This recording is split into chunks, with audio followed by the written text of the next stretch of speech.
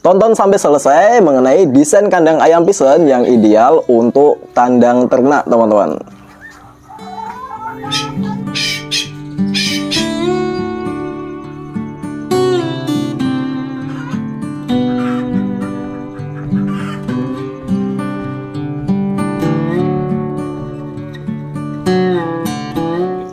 Assalamualaikum warahmatullahi wabarakatuh Teman-teman semuanya Kali ini kita mau bahas mengenai desain kandang ayam hias pisen Meskipun kami sudah pernah bikin videonya teman-teman Di sini ya Mengenai video desain kandang ayam pisen Tetapi masih juga banyak yang tanya mengenai desain kandang ayam pisen. Hal ini menunjukkan bahwa pertama peminat ayam pisen semakin hari semakin bertambah.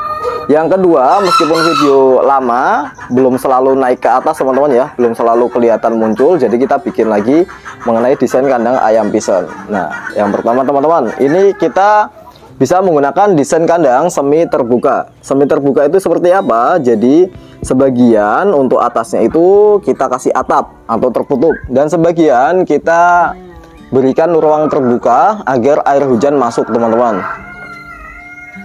Akan tetapi tetap dikasih kawat ya teman-teman karena kan ayam pisan ini ayam hutan yang mana bisa terbang.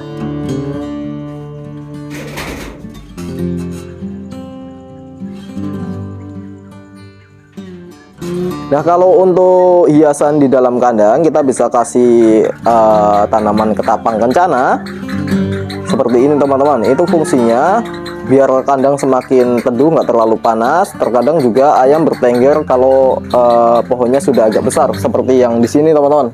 Ini udah agak besar nanti dia bertengger di situ. Kadang juga dia makan daunnya teman-teman. Nah yang kedua kita mau bahas mengenai ukurannya untuk ukuran kita bisa bikin lebarnya satu setengah meter dengan panjang 2 sampai 3 meter dengan tinggi cukup 2 meter aja teman-teman. Kalau teman-teman mau dibikin lebih tinggi juga lebih bagus boleh teman-teman. Karena lebih tinggi kan jadi mengurangi efek panas matahari yang langsung uh, kerasa ke dalam kandang. Semakin tinggi kan mestinya semakin sejuk teman-teman ya. Atau juga bisa dengan model tertutup seperti ini. Ini kandangnya tertutup teman-teman ya. Ini cukup untuk jenis-jenis ayam pisan yang enggak terlalu besar badannya.